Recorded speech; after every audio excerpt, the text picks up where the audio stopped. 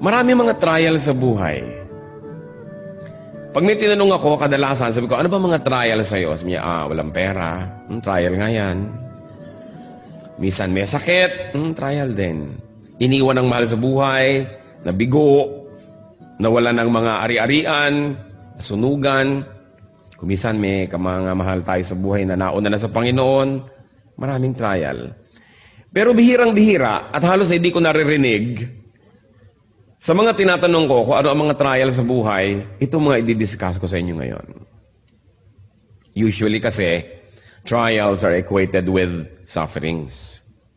Sabi po sa uh, Bible, sa James, the book of James, chapter 1, verses 2 to 4, Consider it pure joy, my brothers, whenever you face trials of many kinds, because you know that the testing of your faith develops perseverance. Perseverance must finish its work so that you may be mature and complete, not lacking in anything. So kailangan pala ay uh, tinatrato natin ang mga pagsubok na isa ring kaligayahan.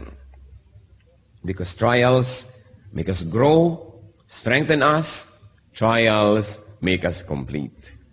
But there is another type of trial that is not suffering, but trial that is enjoyment.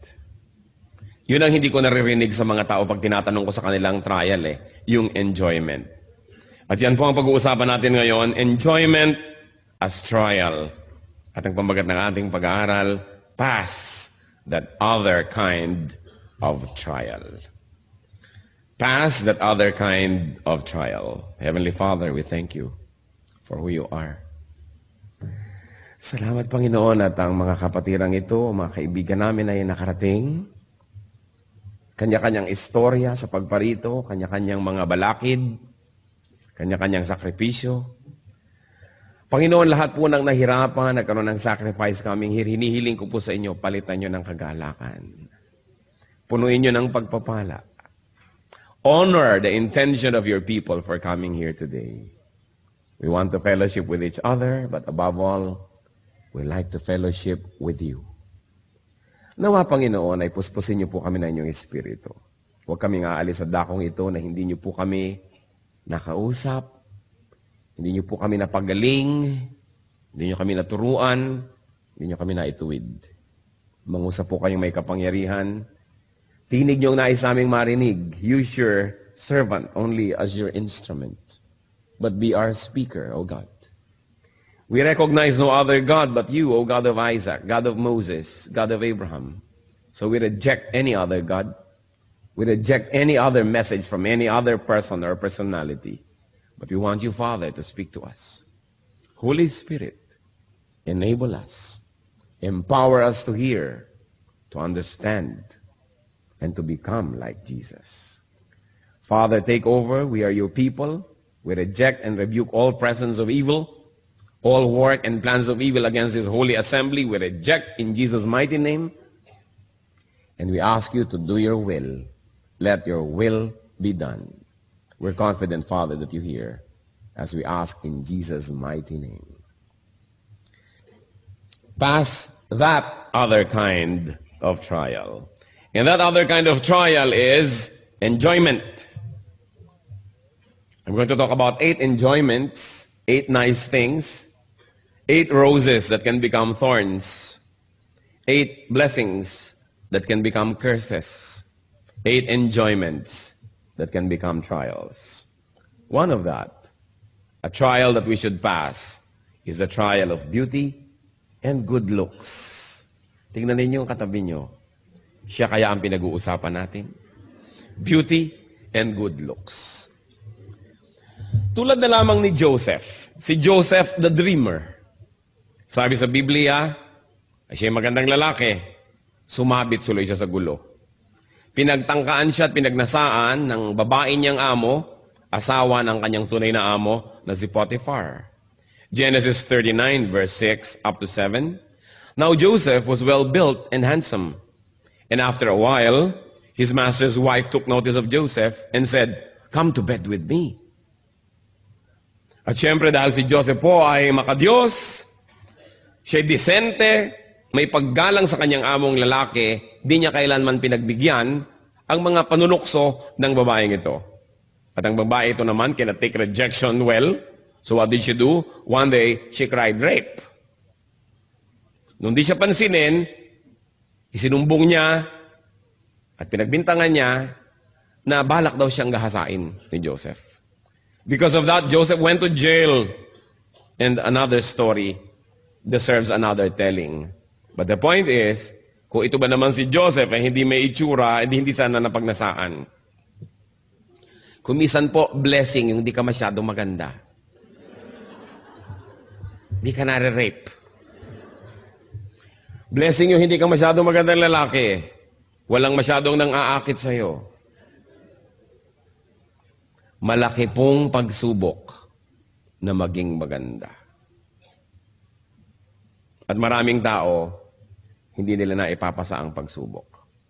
Kinakain sila ng kagandahan, nagiging palalo, nagiging mayabang, o kaya nagkakasala dahil dumadaling magkasala sa dami ng nang aalok. Kaya mabuti kumisan yung di na naaalok pa. Napipilitan ka maging banal. At least kahit pilit, banal pa rin. Kesa sa napakarami namang pagkakataon. Alam niyo yung magaganda, maraming choices eh. At kumisan yung choices, parang sumpa. Habang dumadami, mas nakakalito. Kaya yung mga temptress, mga tempter, usually magaganda rin ang itsura. Dahil hindi ka naman maaakit kundi sila maganda. Kaya ang sabi ng Romans 6.13, Do not offer parts of your body to sin as instruments of wickedness, but rather offer yourselves to God as those who have been brought from death to life, and offer the parts of your body to Him as instruments of righteousness. Yan ang sinasabi. So good-looking people, mag-ingat. At meron pa po akong isang ipakikiusap. Good-looking people, be kind to others. Huwag na kayong sobra pang magpaganda at mangakit. Maawa naman kayo sa magnanasa sa inyo. Tapos di nyo naman pagbibigyan.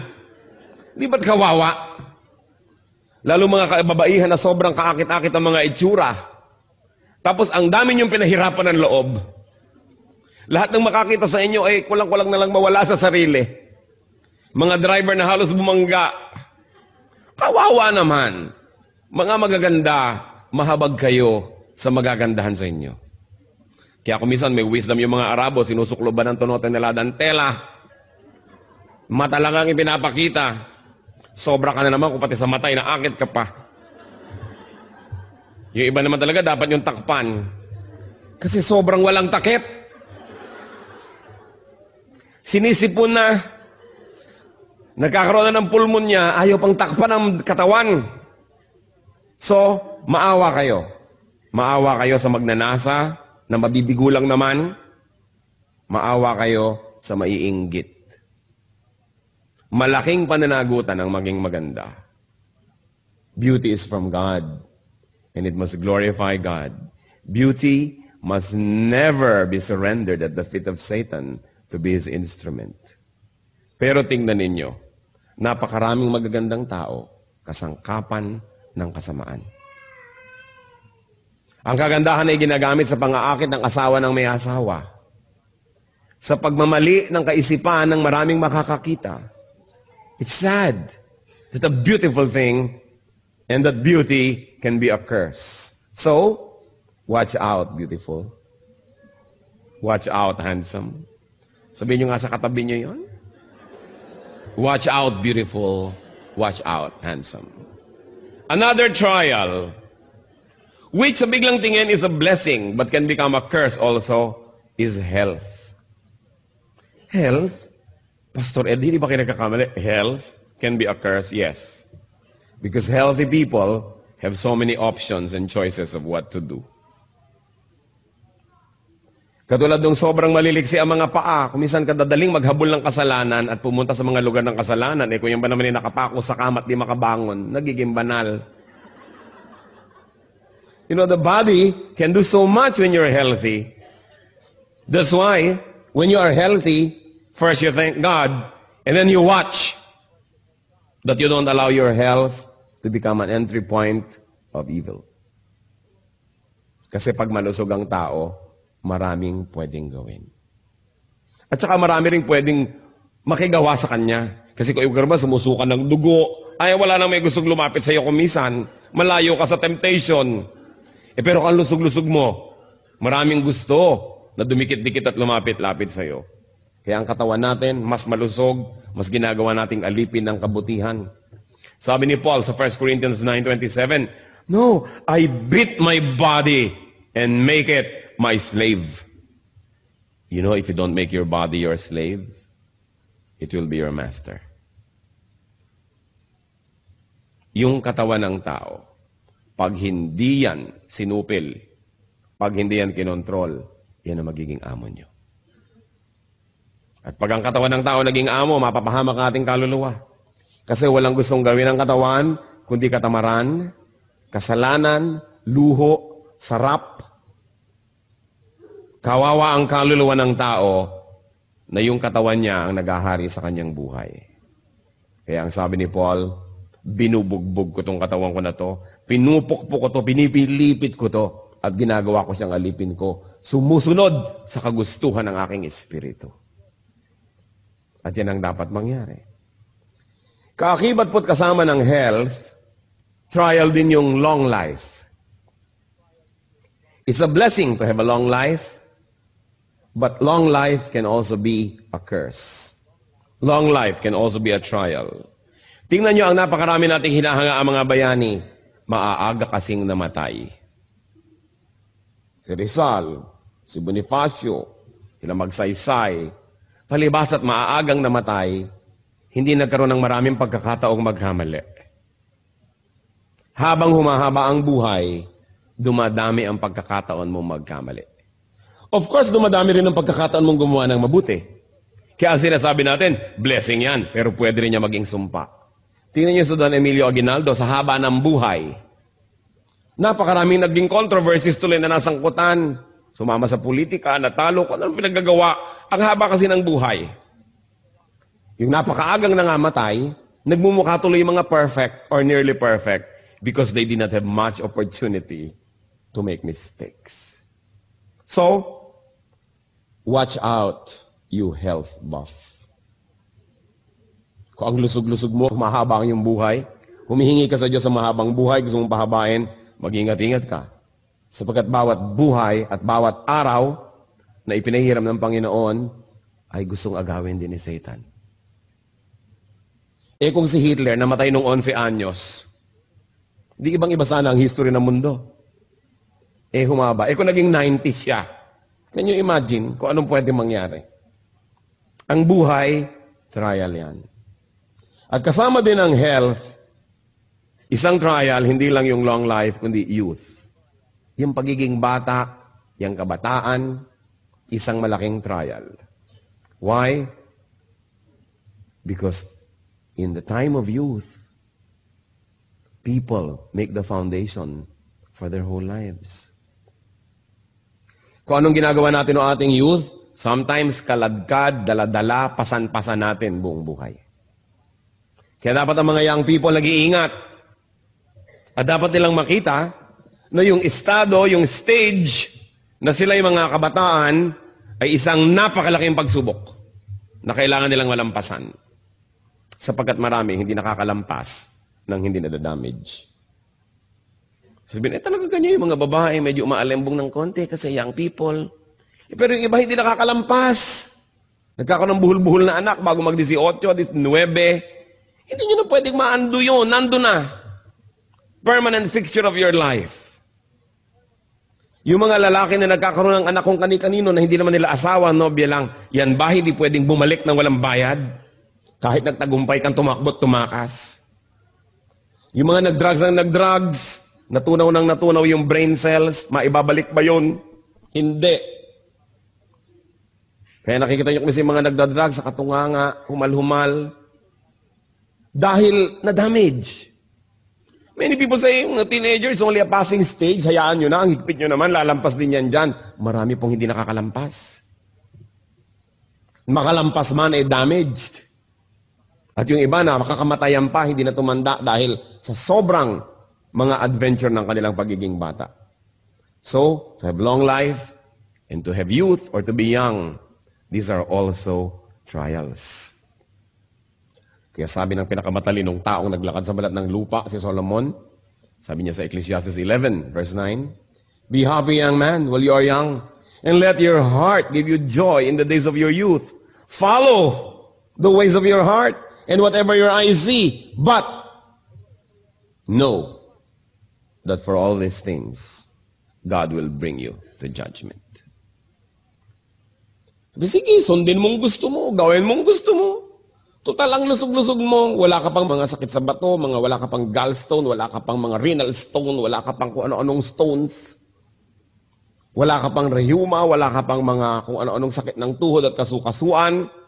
Kaya akala mo, yung iyo ang buhay, sige, gawin mo.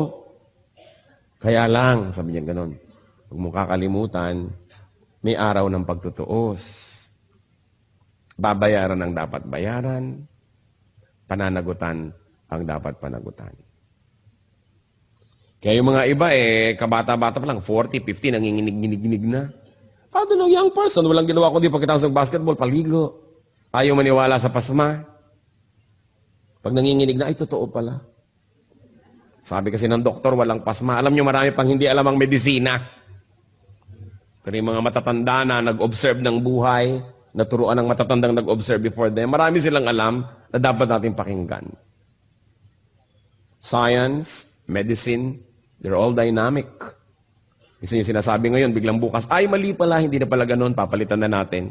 E paano kung damage ka na dahil pinaniwalaan mo mali? Kailangan pinapahalagahan natin ang payo ng matatanda. Sapagkat sila itong mahaba ang karanasan. There's nothing like experience. Kaya mga kabataan dapat makikinig.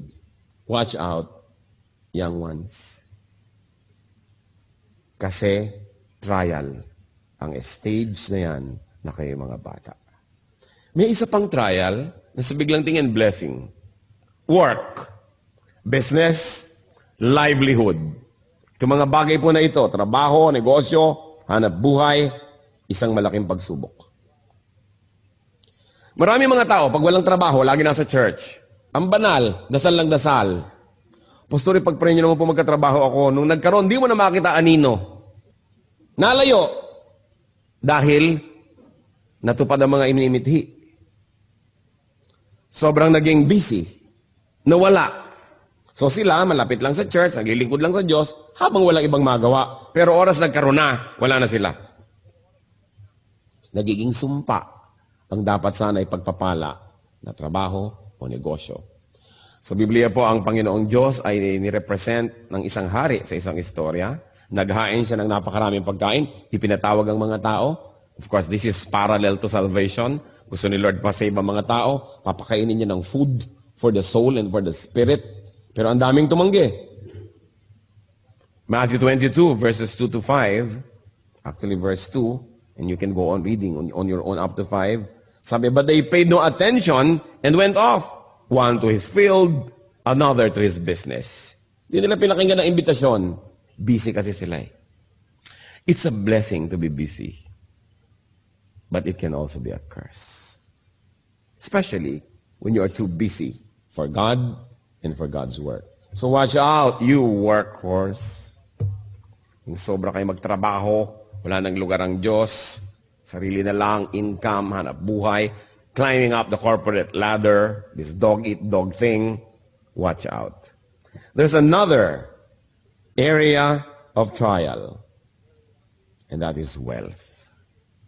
Ang kayamanan, napakalaking pagsubok. Malaking pagsubok ang maging mahirap. Pero napakalaki rin pagsubok ang maging mayaman. At kung sa akin ay papipiliin, mas mahirap dalhin ang pagsubok ng pagiging mayaman kesa ng pagiging mahirap. Because it's terrible when you can afford your vices. It's terrible when you can afford to follow your appetites. It's terrible when you can afford to finance bad taste. It's terrible. So what you do with what you have is under scrutiny. What you do with what God gives you will be under judgment. Meron kaya tayong wealth, whatever it is, that we love more than God? What do you love above your wealth is watched in heaven. Hindi masama maging mayaman. Ang gusto naman ni Lord na maging prosperous tayo lahat eh. Pero oras na inuna mo na yung kayamanan kaysa sa Diyos, oras na siya ang iyong dinyos, kawawa ka naman. Kasi dinagdagan mo ang Diyos ng iyong buhay. Yung mga sumasamba sa salapi, kawawa. Sa halip na kanilang gamitin ang salapi at sila ang naglilingkod sa salapi. Sukdo lang sirain nilang kanilang mga relasyon sa kapwa, sirain nilang kanilang puri, reputasyon, kabanalan, magkapera lang. Then they become slaves. Luke 18, 22 to 24. When Jesus heard this, He said to him, ito yung isang mayamang lalaking sabi, gusto ko pong sumama sa inyo, gusto ko maglingkod, blah, blah, blah. You still lack one thing. Sell everything you have and give to the poor, and you will have treasure in heaven. Then come, follow me. Kasi gustong sumunod sa kanya nitong mayamang lalaking ito eh. When he heard this, he became very sad because he was a man of great wealth. Jesus looked at him and said, How hard it is for the rich to enter the kingdom of God. Of course, I like to add that it is also hard for the poor to enter the kingdom of God. Hindi na dadaan sa mayaman o mahirap yan. Kaya lang mas madaling malito, mas madaling malasing yung may kayamanan kaysa dun sa wala. Kaya nakita nyo, dasal ng dasal, dasal ng dasal yung tao. Siguro walang pera. Pag walang pera tao, dasal ng dasal eh. Subukan nyo pag marami ng pera, kung madadasalin pa. Doon, nagkakaroon ng pagsubok.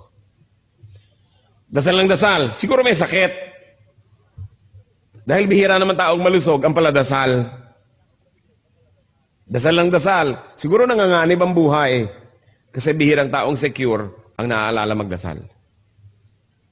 Dasal lang dasal si Mrs. Naku, siguro may ginagawang milagro si Mister.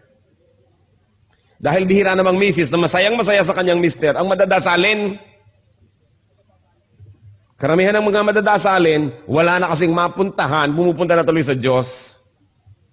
Kaya kumisan, nagiging pagpapala ang problema. Kasi lumalapit tayo sa Diyos. Pero imagine niyo kung gaano kalaking pagpapala yung malusog ka, masaya ka, kontento ka, masagana ang iyong buhay. Tapos madadasalin ka pa rin, malapit ka pa rin sa Diyos. Bakit ka ngayon mawawala ng magagandang bagay na yun? Bakit ka paglalaroan ng tadhana, samantalang malapit ka sa Diyos? Liba na lang you're under trial like Job, na ibinalik naman lahat ng Diyos, dinoble pa. Kaya alam nyo, yung magkaroon ng maraming pera, napakalaking pagsubok. Subukan ninyong lapitan yung taong hirap na hirap sa buhay. Ilapit nyo ang Panginoon, mas madali siyang magdasal. Mas madali siyang makinig, mas madali siyang manampalataya. Subukan yung ilapit yung salita ng Diyos no, sa taong masagana, malusog, okay ang buhay, ang hirap sabihan. Sasabihin, o eh kung mali ang ginagawa ko, bakit ako nagtatagumpay? Bakit pa ako magbabago? Baka maiba yung feng shui ng buhay ko, malasim pa ako. Samantalang ngayon, sinuswerte naman ako sa buhay. Kaya mahirap pong kausapin yung matagumpay. Liban na lang kung yung matagumpay na yon, ang kanyang puso nasa tamang lugar, kinikilala niya na ang lahat ng tagumpay niya, bigay lang ng Diyos, hindi dahil magaling siya, hindi dahil deserved niya, then dumadaling kausap. Yung maging masagana sa buhay, malaking pagsubok yan. Blessing yan. Pero pag hindi natin nahawakan ng tama, nagiging parang sumpa. Wealth also brings so much worry. Sa bagay, nakaka-worry rin naman yung poverty. Pero yung poverty naman, wala ka masyadong choice. Sumisimple. Pag marami kang pera, kaya mong libang-limang kerida, ibahay lahat, dumadali. Dumadali ang pagbili ng mga bisyo. Dumadali. Lumalakas ang loob maghiwa-hiwalay yung mga tao kasi kaya naman nila maghiwa-hiwalay eh. Kasi alam niyo, may mga tao naman, hindi naman dahil nagmamahalan kaya magkakasama because there's interdependence, hindi sila mabubuhay economically na magkakahiwalay. And in that case, poverty helps to keep them together. Until they evolve or they develop in their thinking that they will be having greater and deeper reasons for sticking together. But for a while, it helps that they need each other. Kaya nga po, malalaman mo lang ang taong tunay na magalang, tunay na polite, pagka mayaman. Pagka merong kaya sa buhay. Kasi yung mahirap, wala namang choice yung kundi maging magalang eh. May choice ba? Empleyado ka, good morning po. Diba? Dadaan ka sa mga nag-uusap, yukong-yuko ka. Ang galang-galang mo, ayaw mong tawagan siya ng oras ng siesta. Ang galang mo, eh kasi baka nasa ilalim ka ng kapangyarihan niya. Pero oras na ikaw na yung makapangyarihan. Oras na ikaw na yung may pera. At magalang ka pa. At hindi mo na kailangan ng tulong nila, pero magalang ka pa. Yun lang nakakatalong nalalaman, magalang nga siya. Because many people are forced by circumstance to be nice. But when you don't need people, when you are independent economically, in fact, when they are dependent on you and you're still nice, then that's your true character. Kaya po yung magkapera, magkaroon ng kapangyarihan, napakalaking pagsubok at konti lang ang pumapasa. Kasi kadalasan, pag mataas na yung rango mo, wala nang sisita sa'yo, kung ano na nang pinagkagagawa mo. Kasi wala nang sisita sa'yo. Kaya marapat ibalik ka uli sa mababang rango para ka tumino. It is a great trial to have power. It's a great trial to have wealth. Because you can do what you want. And when you're able to do what you want without having to submit to anybody, that's when your true character shows. Mahalaga. Isip-isipin natin. So watch out, Ritzy. Tingnan nyo nga katabi nyo kung mukhang mayaman. Baka nagpapanggap lang siya para wag niyong dukutan. Pero mayaman pala. Yung mariwasa ka sa buhay, may kaya ka, trial yan. Then, another trial is knowledge. Knowing is a burden. Knowing more is a heavier burden.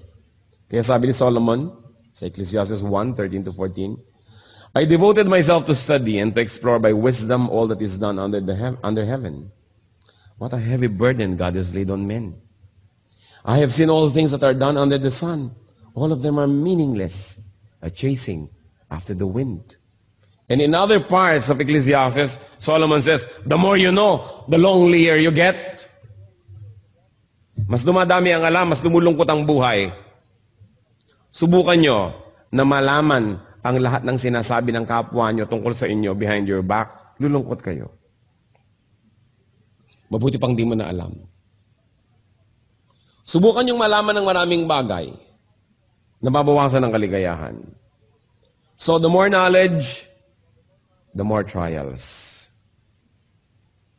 Kaya yung mga rumurunong ng konti, nakapag-biology 4 lang, ipinagpipilitan ng galing tayo sa unggoy, yan ang napala sa pagiging marunong.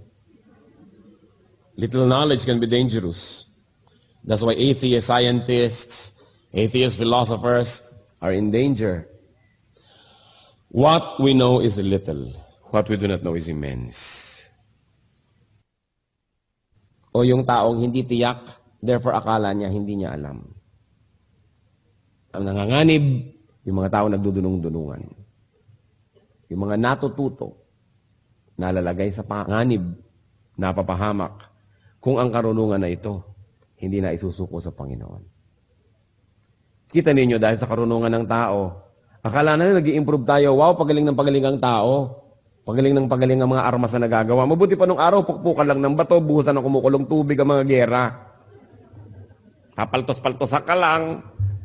Ngayon, napaka-high-tech ng gera, ang daming namamatay agad. Dahil sa runong. Knowledge can be a curse. So watch out, nerd. Mukha bang marunong ang katabi nyo? Mukha, tingnan nyo nga, mukha bang marunong? Sabi mo, mukhang marunong ito. Ano yung basis natin dyan? Another trial, of course, is zest. Sigla. Love for life. Love for your vocation. Sigla. Yung meron tayong passion. Actually, maganda yan. Pero trial yan.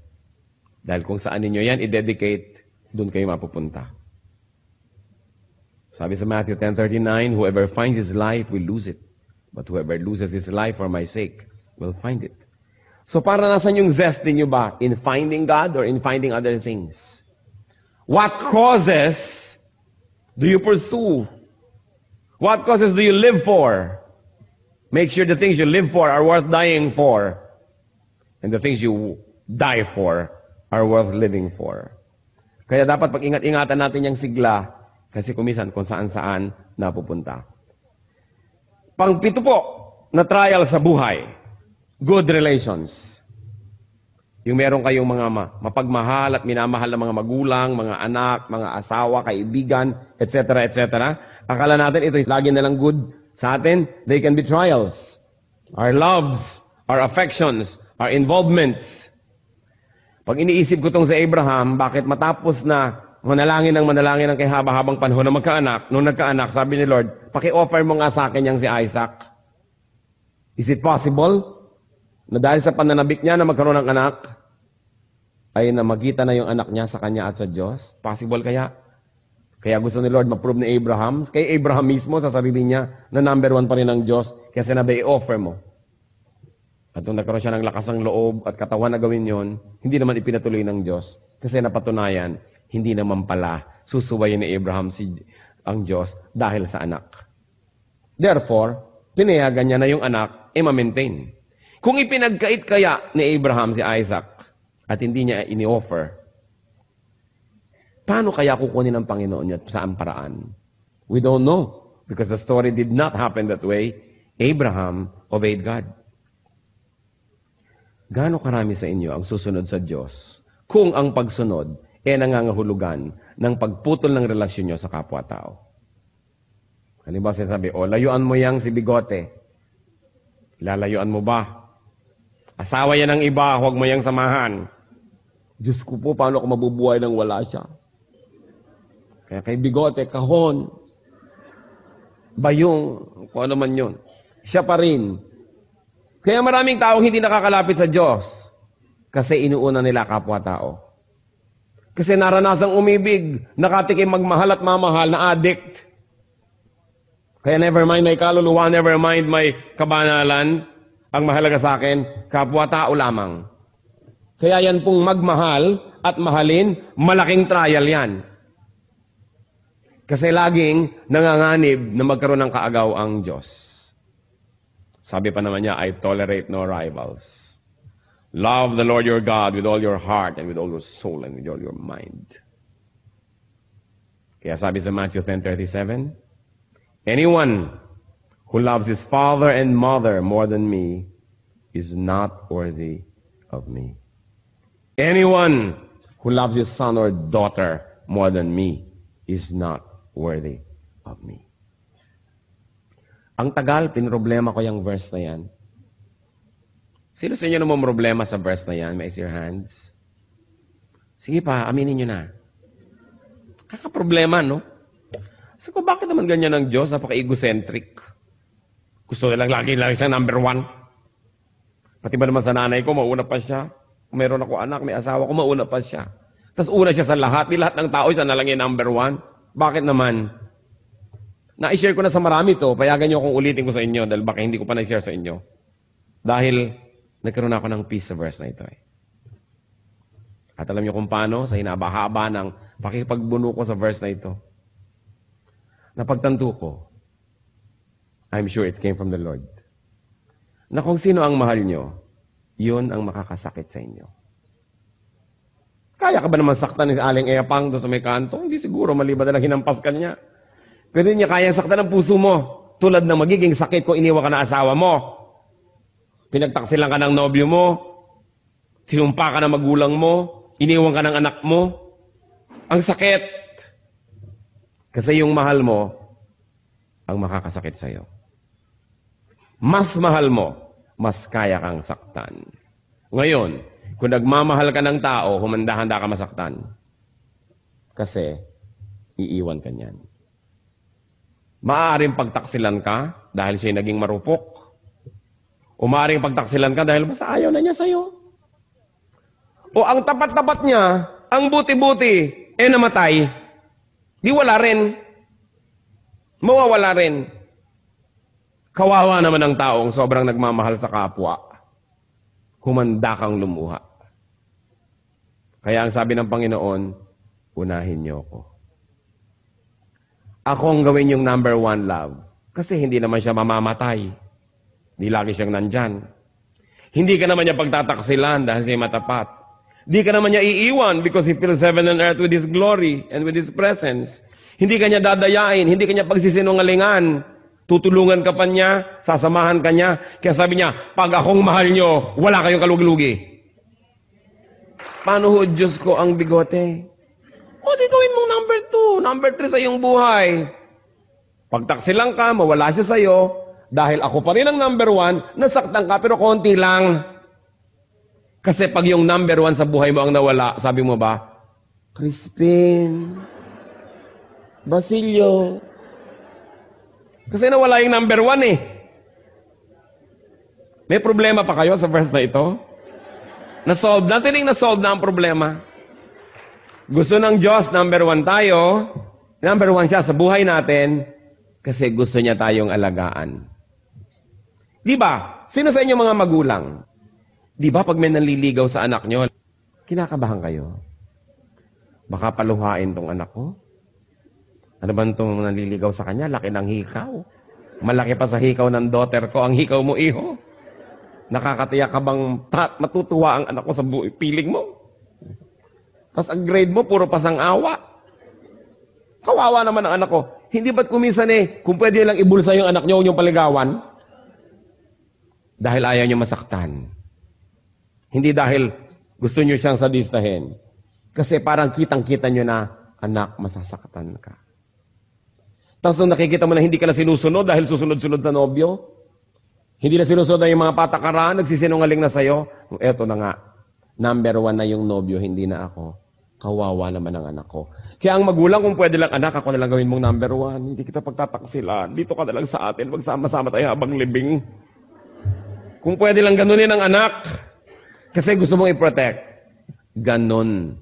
In a much greater way, ganon tayo gustong i-protect ni Lord. Kaya sabi niya, gawin mo ako number one. Hindi dahil sa egocentricity ko, hindi dahil sa pride ko, hindi dahil gusto ko makuha lahat ng atensyon. Kasi gusto kitang di masaktan. Magmahal ka ng iba, konti lang wag tulad ang pagmamahal mo sa akin. Para dumating, umalis sila, mabuhay, mamatay, lumusog, magkasakit, nag-aalala ka, nasasaktan ka, pero hindi ka kayang itumba kasi yung tunay mong mahal, eto pa rin. Ang bait ng Diyos. Ang galing-galing niya. Napakahusay. So kayong sobrang magmahal sa tao, watch out, lover. Mag-ingat-ingat kayo. Lalo yung mga romantic-romantic love. Kaya maraming tumatalon sa pasig. Dahil yan sa pag-ibig na yan. Pag-ibig na ligaw. Kasi nauna yung tao kesa sa Diyos. Sinong magpapakamatay kung nawalan ka ng mahal sa buhay pero number one mo ang Diyos? Hindi. Kaya mga nagpapakamatay dahil sa pag-ibig, alam mong, ay, nakakalungkot mang isipin, natabunan ng Diyos, nagmahal ng kapwa, ng lubos-lubos. Lampas sa kalooban at disenyo ng Diyos, napahamak tuloy. Pangwalo, sana bala ko mga isang daan eh, pero tama na siguro yung walo, no? Pangwalo, na trial. Accomplishments. Akala nyo trial ang kabiguan? Mas malaking trial ang tagumpay. Accomplishments. Mas maraming nagpapakamatay na matagumpay kesa sa bigo. Mas maraming mag-asawa ang naghihiwalay na matagumpay kesa yung mga bigo. Kasi kuminsan, ang wattage mo 10, hindi mo kaya ang 50 volts. Kasi hanggang 10 watts ka lang. Tapos dumating yung 3,000 volts, pundi ka. Kaya maraming tao, pag nagtatagumpay, napupundi. Dahil malaking trial yung accomplishment. It be physical, mental, social, or spiritual success. Fame and glory can be terrible trials. Kaya akala mo ang galing-galing mo, kayang-kaya ko na to, yun ang pinakamapanganib. Sapagkat di ka na nag-iingat. Sobra ka ng overconfident. Dahil nga sa iyong accomplishments. Kaya sabi sa 1 Corinthians 10.12, So, if you think you are standing firm, be careful that you don't fall. Sapagkat halos lahat ng natumba, natumba ng di nila inaasahan na mangyayari yon. Sapagkat sobra na silang naging confident. Accomplishments can make a man proud or vain or careless. That's why accomplishments can be dangerous. Watch out, achiever. Kailangan tayong mag-ingat na lahat. So look at everything from both sides. Trials can be blessings. Blessings can be trials. Do not watch out only for the conventional trials, but consider that other kind of trial. Nice things. Beautiful things. Kung hindi kayo masisira ni Satan sa pangit, sisirain kayo sa maganda. Kung hindi niya kayo masisira sa kabiguan, susubukan niya kayong sirain sa tagumpay. Kung hindi niyo kayo masira sa pagiging mag-isa, sisirain niyo kayo sa pagkakaroon ng kasama. Kung hindi niya kayo masira sa pagiging mababa, susubukan niya kayong sirain sa pagiging mataas. Anong sabi sa Bible? Be sober, be watchful. The devil is like a roaring lion seeking someone to devour. So what can I say to you, brothers and sisters, friends? Pass that other kind of trial. Let's bow before the Lord. At nais ko mag-isip-isip kayo, alin ba sa mga binanggit natin ang nagiging instrumento ngayon ni Satan para kayo subukan. Para kayo ligligin, guluhin.